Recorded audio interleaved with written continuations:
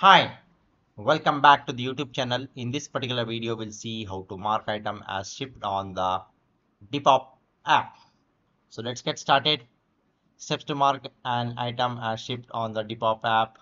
Log into your Depop seller account on the app. Tap on the shop icon at the bottom of the screen. Go to the sold items section. Select the item you want to mark as the shipped.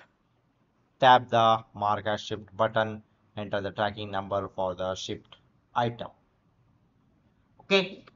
So that's all about this particular video guys. I hope you like this particular video. Please just subscribe to the youtube channel. See you on all thank you. Bye bye